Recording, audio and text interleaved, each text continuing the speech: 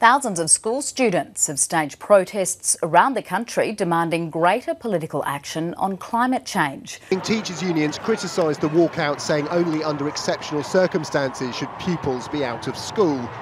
But as these young people see it, the circumstances are exceptional. Maybe if the people in power, like Scott Morrison, listened to the climate scientists and took action to stop dangerous climate change, then we wouldn't have to resort to all becoming climate activists ourselves. Just here for a day off, not for climate change. What do you say to that? I would say that's unfair. I think that this is more important than school, and not because of education, but because there's no point in having an education if what we're going to end up with is like a world where everything's underwater.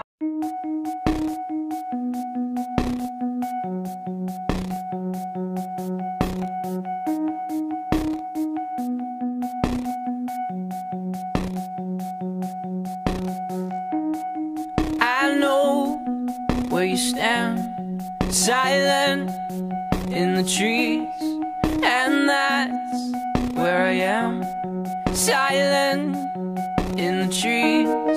Why won't you speak where I happen to be? Silent in the trees,